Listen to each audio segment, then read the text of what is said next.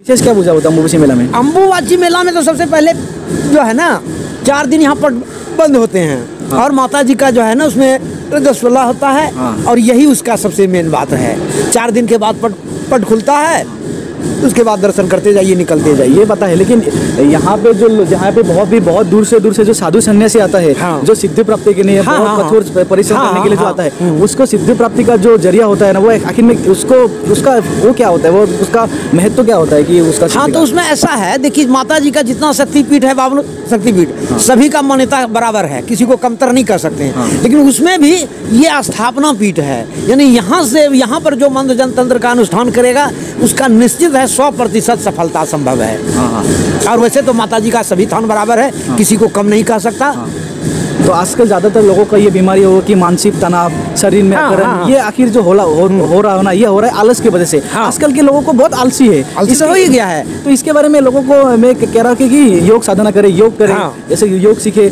मतलब आलसी तो देखो पैदल चलना लोगों ने छोड़ दी छोड़ दिया फटकना छीट- छाट छाटना पीसना कूटना सब बंद हो गया। हाँ पहले में क्या होता यहाँ पे जो जो गाड़ी का रास्ता था ना पहले हाँ। एक था हाँ। अभी दो हो गया। हाँ। ज़्यादातर लोग क्या करते थे पैदल आते थे। हाँ। अभी गाड़ी का मतलब जितना यहाँ पे सुविधा बढ़ता रहेगा पैदल आते थे वो लोग मर्यादा कायम करते थे। और अब जो लोग आ रहे हैं भक्त जो है दर्शनार्थी कम टूर ज़्यादा।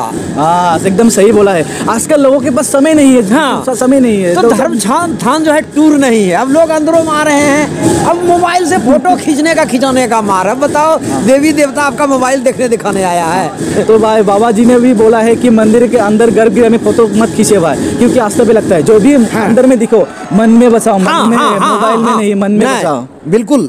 मन में बसाओ और ये बताइए कि ज़्यादातर लोग आजकल जितना भी मोबाइल मोबाइल हाँ। की हाँ। दुनिया में रहता है नहीं ठीक है जैसे आप बाहर घूम रहे हो बाहरी दायरे से आप ले सकते हैं तस्वीर हाँ। लेकिन जहाँ मेन पूजा हो रहा है वहाँ आप हाथ जोड़ोगे कि मोबाइल दिखा रहे हो माता जी लोग भी क्या करते हैं चोरी छुपे फ़ोटो ले लेते हैं बताओ ये गवर्नमेंट है जो कि आप मोबाइल दिखा रहे हो मेरा भी फ़ोटो आ गया मेरा भी फ़ोटो हाँ। आ गया अरे नहीं आपका आस्था इससे जोड़िए मोबाइल से माता जी नहीं जुड़ती हैं आप दिल से जुड़ना चाहेंगे तो जुड़ जाएँगी हाँ जो एक कहावत है सुख। हम लोग का कहावत है सुख समृद्धि उसके बाद प्रगति। हाँ। पहले सुख हाँ। उसके बाद समृद्धि उसके बाद प्रगति। तो सबसे पहली है कि अगर आपकी आस्था बनेगी तब सब काम कर्मिक रूप से सब चीज़ हो जाएँगे। मुख्य बात यही है कि आस्था बननी चाहिए। हाँ। तो ऐसे कुछ हम लोग आजकल जो जो दवाई है ना जड़ी बूटी के छोड़ के आज हम लोग एलोपैथी में आ गया हाँ। इसके बारे में भी कुछ आप बताइए कि कौन सा जड़ी बूटी जो हर किसी के घर में रहना चाहिए। जैसे दातुन हो गया पहले हाँ। हम लोग करते थे अभी कॉलगेट लगाता है ये हाँ। करता है वो करता है। ऐसा कुछ जड़ी बूटी बताइए कि हर घर में रहना चाहिए ऐसा हाँ तो दातुन के लिए जहाँ तक आपने प्रसंग किया तो शास्त्र में स्पष्ट लिख कहा है उत्तम चिरचिरी उत्तम चिरचिरी एक लड़के एक होता है चिरचिरी पतला उत्तम चिरचिरी मध्यम भांड एक भांट भी होता है उसे मुँह धोया। और कुछ कुछ साहुड़ साहुड़ सौड़ा का पेड़ कुछ कुछ साहुड़ बाकी सब झांट। हाँ।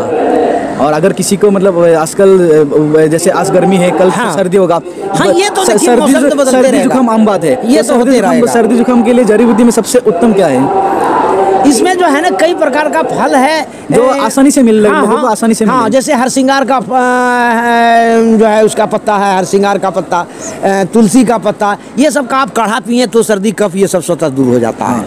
बस यही जड़ी बूटी लोग भूल गए हैं आजकल। हाँ। आजकल सब दवाई खाओ इंजेक्शन हाँ हाँ कुछ भी हो। जाए जरा सा माथा में दर्द हो जाए तो टेबलेट लाएँगे। हाँ, सब कुछ जल्दी सही है। हाँ। और आज जैसे कि शाम के समय में हम लोग के घर में धुआँ देते हैं वो हाँ। करते हैं वो भी आजकल लोग नहीं देते हैं। नहीं देते वो भी ज़रूरी होता है कि हाँ, तो संध्या काल में क्या बिजली बिजली का जला के शाम देना ये शाम नहीं माना जाएगा। हाँ हाँ।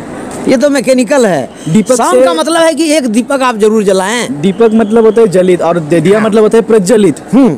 जलित हाँ तेल और बत्ती के साथ दीपक जलनी चाहिए। हाँ, हाँ। अब ये इलेक्ट्रिक वाला स्विच टिप दिए तो आप रोशन कर रहे हैं। शाम नहीं दे रहे हैं माता जी को आप रोशनी कर रहे हैं।